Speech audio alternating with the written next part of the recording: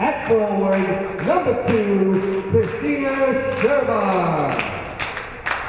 At forward, number four, Tanisha Briggs. At guard, number five, Mecca Northfleet.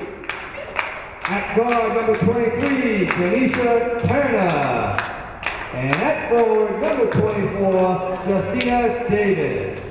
The assistant coach for Caimans is Lynetta Sullivan, and the head coach is Jessica Villania.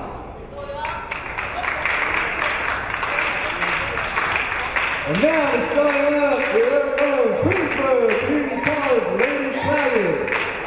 From Manhattan High School, left guard, number 15, Nyaja Elby. From Young Women's High School, left guard, number 55, Anne Marie Johnson. From John Adams High School, left guard, number 24, Shankana Panoy. From Newtown High School, left guard, number 31, Elise Langley. And from Martin Van Buren High School, left guard, number 20, Giselle Princess. The assistant coach is Teresa Rodriguez. The associate head coach is Latisha Harris. Your head coach is David Chambers.